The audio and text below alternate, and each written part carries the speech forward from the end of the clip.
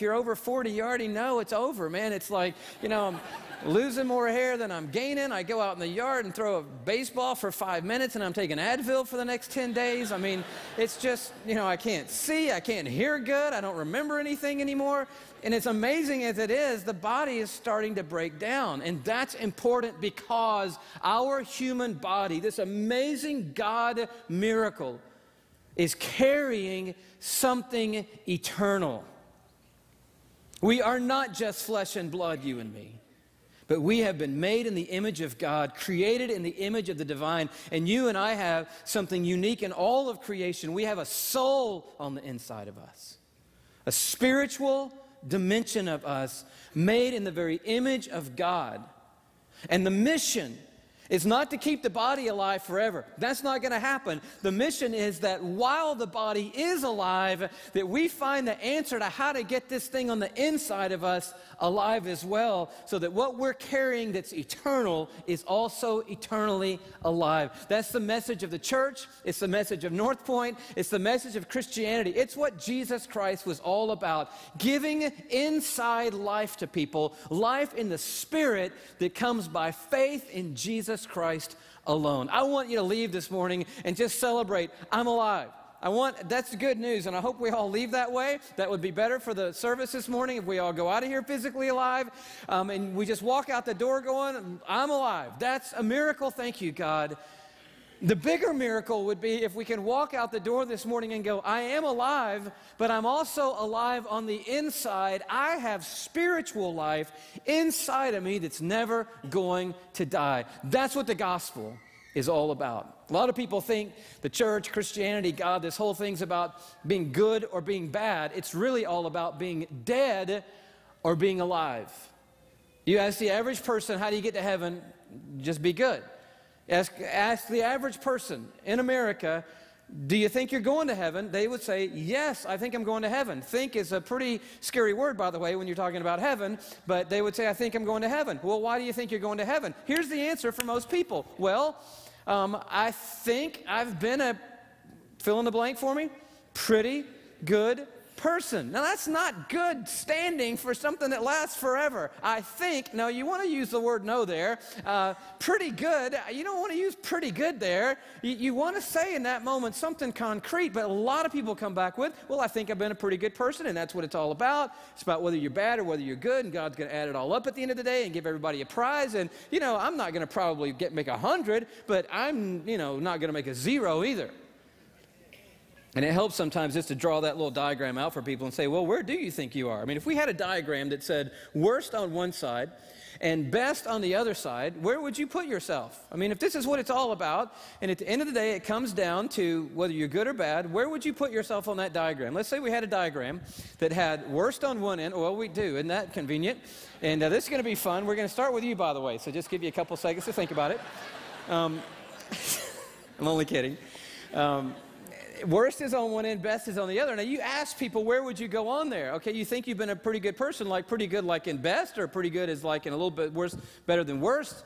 Where would you go? It helps sometimes, if you're going to have this conversation with the people, by the way, to put some other people on there first because it's a lot easier to judge other people than it is to judge ourselves, right? Because you have that objective vantage point.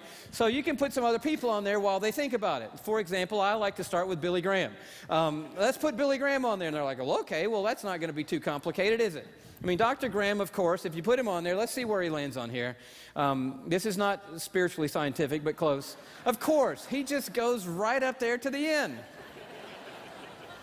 Now, he, he would admit he's not perfect, but come on, he's Billy Graham. So he's going up there. So you're like, okay, that's, that's good. Um, I, I, would say that. Most people will give you that one. Um, let's try another easy one. Let's do um, Andy Stanley. there he is. That's our pastor, by the way, if you uh, just visiting. Now let's try him on there. I think I know where this one's going to go too. Of course, he's going to go right. Well, uh, there were those days in college, I remember. No, yeah, he's going to go down there. That's where Andy's going to live. You're like, well, wait a minute. Why didn't he go all the way down to Billy Graham? He doesn't want to go all the way down to Billy Graham. Nobody wants to go all the way down to Billy Graham. He's Billy Graham. But he's way down there. He's down in the best area. Let's try somebody else. This is, see, you're going to put you on here in a minute, so I'm just giving you time to think about it and some stuff to work with. Okay, you're like, oh, I'm not Billy Graham. oh, my goodness. Let's try Simon Cowell. How many of you have want, you want to run the joystick right now? You want to put him on there, don't you? If you don't know who Simon Cowell is, you should get out more. Um, he's one of the judges on American Idol, and he is rude and ruthless and he likes to make people cry. And so we're going to make him cry now, okay? Um, let's try Simon Cowell. Where's he going to go on here? Yeah, that's right. He's absolutely going left. Down. Oh, we're going to come back a little bit. All right, that's good. I like that. Now, I don't know Simon Cowell, and I don't want a lawsuit, so he might be the nicest guy in the world, might be holier than Billy Graham for all I know, but that's just what we can see. Let's try a couple more. Um, Oprah Winfrey. Where would we put Oprah on here? Guys, come on. You're watching every day. You know Oprah better than anybody else. Oprah is a philanthropist. Hu- uh, she's like a humanitarian. She's got amazing influence. She gives women free stuff every year, Oprah's favorite things. She gives cars away. You know, she's going to have to, most powerful woman in television, maybe the most powerful person in television. So where's Oprah going to go? I don't know. We're going to have to find out. Oprah, Oprah's going, Andy, wow. Okay. Oh, all right, cool. I think I might put her a little closer to Andy, but hey, that's fine. Um, let's try one more. I tried to think of a bad person. I didn't really want to incriminate anyone because that's not good in front of a lot of people, um, unless you want to get sued. And so, uh, but I did find Ken Lay. Do you know who Ken Lay is? Does anybody know who Ken Lay is? Some of you are like, I know Simon Cowell, but I don't know Ken Lay. Who is that? He's the head of Enron, which um, built people out of billions of dollars. People's um, 401ks were gone, their retirements were gone, people lost their homes. The whole thing fell apart, and uh, we don't know if it's Ken Lay's fault. We're going to find that out, I guess. But um, let's put him on there because we need somebody uh, that goes down to the other end. Let's see where he lands on here. You're laughing already down there. Must have been some Enron people down here. They're like, yeah, that's where we want to see him. Whoa, he didn't do very good, Ken Lay. All right, so we got a nice balance going here. You're like, see, you need Ken Lay. Everybody's got their own Ken Lay, by the way. Yours could be somebody, but you're always going to come up with that guy, aren't you? Or that, that, that other lady, and you're going to go, well, I'm not Ken Lay. I mean, I didn't like embezzle the whole company and ruin everybody's future. Okay, that's true. So where would you put you? Let's just say you're going to go on there, and you have to go somewhere. And now it's getting a little complicated because you know you're not going that little space to the right of Billy Graham. Nobody's going in there. You're like, yeah, that little last little part down there by the arrow, I'd probably squeeze myself just right in there. Most people would do this, I think. They would get on the scale, they'd start talking about their past, they would talk about their future. They would say, well, you know, I've done some good things. Well, of course, I've also done some bad things in my life and some really bad things, but I've also tried to, always tried to do good things, and I think if I had to go somewhere on there, I'd probably end up right about there. Just in a safe spot, isn't it? Just kind of over halfway. Not too terribly bad, not too terribly good, but about over halfway. But notice, um, as we look at this thing as a whole, I mean, it's got two problems. And here they are. Number one problem is, is that you and I are worse than we think. No matter where we go on here, we always end up worse than we think we are. For example, God gave us 10 clear rules. How are you doing on those? Can you name them? No.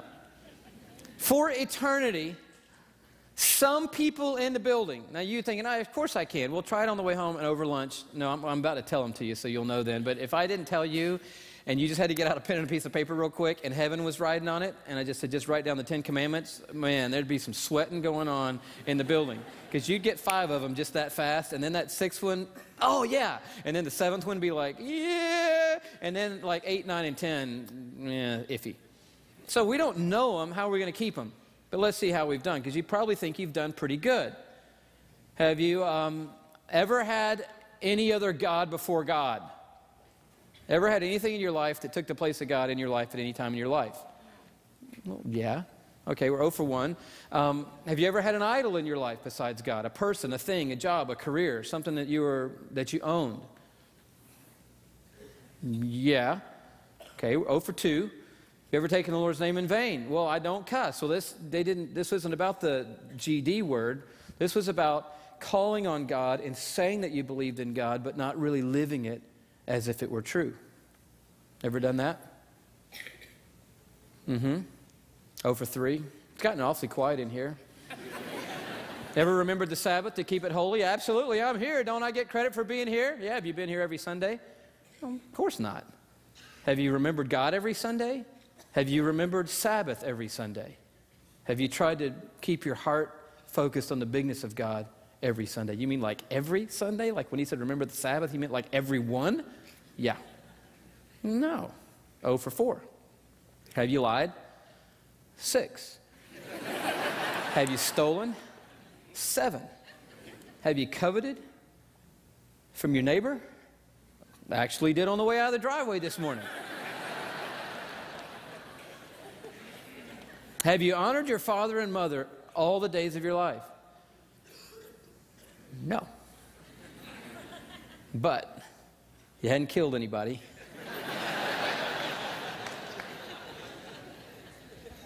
then Jesus comes along and ruins everything. If you hate your brother in your heart, you might as well have murdered him.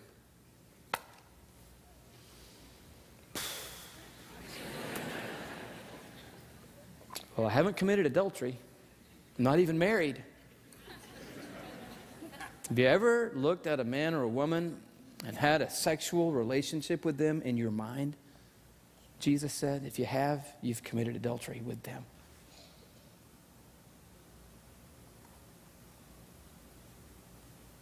Oh for 10. and then James makes it worse. If you ever knew what was right to do and you didn't do it, that was sin. Just knowing what was the right thing to do and choosing not to do the right thing, not doing the wrong thing, sin. So, A problem is we're a lot worse than we think. B problem is sin doesn't make you bad, sin makes you dead. So even one sin brings death to the soul. This inside eternal thing we're carrying inside these bodies, just one sin makes us soul dead. And so the problems today are enormous. That's why the conversation isn't if you want to go to heaven and you want to be a Christian and you want to be forgiven and you want to have eternal life, well, all you have to do is try to get yourself down to the good end of the spectrum by doing as much good stuff as you can. You can't because A, we're a lot worse than we think we are, and B, sin doesn't make you bad, sin makes you dead. That's what Scripture teaches. So then Jesus didn't come to help us, you know, kind of improve ourselves so we could get to heaven. Jesus Jesus came to give life to people who had no chance for God apart from the gift that he could give them. A couple of passages of scripture I want you to see. The first one's in Ephesians chapter 2, verse 1. And I want you to check out what it says here. It's pretty amazing stuff. It says, As for you, you were dead in your transgressions and sins. Now, that's a whole new way of looking at it. So now it's not about, you know, I'm a little better than this person. I'm not quite as, you know, bad as that person. It's more of, have you ever committed sin in your life? Have you ever disobeyed God? Have you ever rebelled against God? If so, here's the result. As for you, Paul wrote, you were dead in your transgressions and sins. Physically dead? No. Brain still working, 100 million messages a second, computing all kinds of stuff. The eyelids are still blinking five times a second. I'm physically alive. Then what's he talking about? He's talking about our soul, spiritually, on the inside, dead. You were dead in your transgressions and sins, in which you used to live when you followed the ways of this world. And now he's going to describe what that life looked like. And the ruler of the kingdom of the air, the spirit who is now at work in those who are disobedient, all of us, so it's a big, huge you and me thing here, also lived among them at one time, gratifying the cravings of our sinful nature and following its desires and thoughts. Like the rest, we were by nature objects of wrath. In other words, God's judgment was going to fall on us because of sin, which had brought spiritual death to our soul. But the story gets really exciting right here, and this is why people jump up and down and shout and get excited about their new relationship with Christ. But because of his great love for us, God, who is rich in mercy, made us alive with Christ even when we were dead in our sins. Isn't that beautiful? In other words, Jesus Christ did not leave heaven, come to earth, live a perfect life, die on a cross for the sins of the world, be raised from the dead by the power of God just to make us better. He did not do all of that and suffer humiliation and shame on the cross just so he could push us up from a 72 to a 78. His mission was not a betterment mission. His mission was to come and pay the price in death so that he then could give the gift of life to people who had been made dormant because of sin. Who is rich in mercy made us alive with Christ even when we were dead in transgressions. It is by grace you have been saved. Now, listen to a couple of other passages. For the wages of sin is death, Romans 6:23 says. Not the wages of sin is you're not good. The wages of sin is you're dead.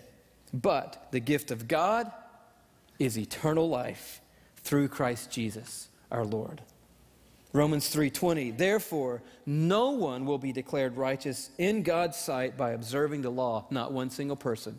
No one. Instead, it's worse than that. Through the law, we become conscious of sins. What does that mean? It just means go down the list of the 10 clear things and then go, oh. but now, a righteousness from God, apart from the law, has been made known, to which the law and the prophets testify. And here it comes. This righteousness from God comes through faith in Jesus Christ to all who believe. So there's a whole new righteousness. There's a whole new way of coming to God. And it comes through Jesus Christ. And how does it happen? This is the miracle. It happens through spiritual birth. How'd you get alive physically? Did you try? No.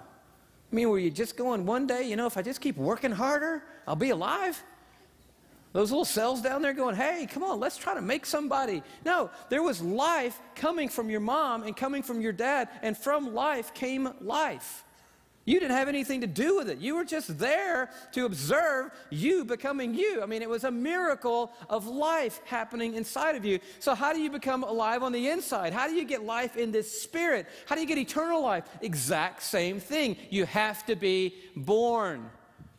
Isn't that beautiful? Isn't that simple? Churches are hospitals. The gospel is a maternity ward. It's not about us trying to improve ourselves to heaven. It's about being born all over again as children of God. And that's the miracle of the gospel. Listen to the way that John says it John 1, verse 12. Yet to all who received him, now the him here is Jesus. To all who received Jesus, to those who believed in his name. Now, that's not just mental, okay, I believe in a guy named Jesus. It really is saying in the text, I accept that this Jesus Christ is Messiah, Savior of the world, sent from God. To all who received him, to those who believe in his name, the name of Jesus, he gave the right to become children of God. That's how you get in the kingdom, by the way. One man asked him late at night, How do you get into God's kingdom? How do you get into heaven? Jesus said, You got to be born again. And he looked at him and said, That's going to be complicated. And Jesus said, No, no, no, no. I'm not talking about human birth. I'm talking about inside birth. I'm talking about spiritual birth. You got to be born again on the inside. He gave the right to become children of God. Children born not of natural descent, so that means your mom and dad didn't give you anything when you got born again. Oh, yeah, they did. They were right there holding my hand. Yeah, they might have encouraged you to the hospital, but in the maternity ward, they didn't have anything to do with the birth. Not of natural descent, nor of human decision or a husband's will, but born of God. That's the miracle. It's absolutely stunning to think of it. And the implications are staggering. I'll give you a couple. One, it's a way to God by grace through faith in Christ, not by works. Two, when you do put your faith in Christ and He does birth new life in you, you are then a son or a daughter of God. And you have brand new DNA, new genes on the inside. And where'd you get them? From God who birthed the life, God who gave you new life inside, God who forgave you of sin, God who brought your spirit from death to life. God did that. Where did you get this eternity that's in your hearts? It came from God, all from God. So in the spirit, in here, the inner man, the new person, God is in there. God's genes are in you. You're carrying the DNA of the creator of the universe inside of you. You are two miracles today. If you're a Christian, you're a miracle of life, and the brain's doing some amazing stuff and everything else is as well 75,000 miles worth of arteries, blood vessels, and capillaries inside of you. You're a miracle of life, and you are a double miracle of life in that you have the genetic makeup of the creator of the world birthed inside of your soul. And the last implication is pretty, pretty challenging for us. That means that the natural outcome of our life is to do what? To grow up and to look like our Father in heaven. You start looking like Larry Jr., people aren't freaked out. They go, lie, of course you are. Why, why wouldn't you? You got his DNA stamped in every one of your 75 trillion cells. The way his ear does that thing, your ear does that thing. The way he laughs, you laugh. You're like, no, I'm not going to laugh like that. Yeah, you are. You're going to laugh just like that. You probably already are and don't know it. I'll never drive that slow. Oh, yeah, you will. You'll drive just like that. Your vision will go out just like his vision did. It, it, will, it will all happen. And when it happens, people don't freak out. They go, Of course. That's what's the natural outcome of the genetic DNA code that's inside of you. So I ask you this if we have been born again through Christ to new spiritual life, what should happen in you and me? We should grow up and be like God. Paul said it this way Ephesians 5:1 Be imitators of God as dearly loved children. That's not shallow hope for mere mortals trying to do godly things. That is a confident hope that we have the DNA of God inside of us so that we can do this. What? We can look at our dad, observe what he does and who he is and what he is like, mirror and model him, and then based on the Christ life inside of us, move towards a life that looks like him. A couple of passages I want you to see, just amazing in this own thing. But listen to Romans 8 28 and 29. We know the first part of this, but I want you to hear the back part. We know that for those who love God, all things work together for good. Now, we've heard that all of our lives. For those who are called according to his purpose. But listen to what his purpose is. For those who he foreknew, he also predestined to be conformed to the image of his son this is amazing. In order that he, his son, might be the firstborn among many brothers. In other words, he's saying, here's the plan. I put Christ's life in you. Remember, he died for the sins of the world, was the first one brought back from the dead by the power of God, but not just so that he could be raised from the dead, so that you could be raised from the dead, and you could be raised from the dead, and you could be raised from the dead, and you could be raised from the dead, and you and you and you and me and all of us on the inside could be raised up out of the death of sin into a brand new creation in God. And then he would be the firstborn, it says, of many brothers. In other words, he'd be the first one, and we come right behind him going, We want to share in that life. But you, Paul says in Ephesians, did not learn Christ in this way, if indeed you've heard him and been taught in him, just as truth is in Jesus. That in reference to your former manner of life, you lay aside the old self. It's being corrupted in accordance with the lust of deceit and that you be renewed in the spirit of your mind and put on the new self. And check out the new self, pretty stunning, which in the likeness of God has been created in righteousness and holiness of the truth. What is he saying? He's saying something new's been created inside of you, something godly has birthed inside of you. You got to set your sights way higher than you have them. It's not about being better than Ken Lay. It's not about being better than Simon Cowell or being better than Billy Graham. I'll tell you something about all the people on that diagram. Every one of them, good, bad, worst, or in the middle, including Billy and Andy, who would be the first two to tell you, were dead in sin apart from Jesus Christ. It didn't matter where we thought they landed on the scale. And Christ brought us to life. Then Christ wants to make us into the image of God. Am I saying this morning it doesn't matter if you're good or bad? Absolutely not. I'm just saying that's not how you get into heaven. You get into heaven by being alive. And once Christ bursts his new life in us, yeah, we want him to mature us into the very likeness of Jesus. And that's the goal for you. And it's the goal for me. It happens all because of the cross of Jesus Christ. I want to invite you to that cross this morning. It's stunning.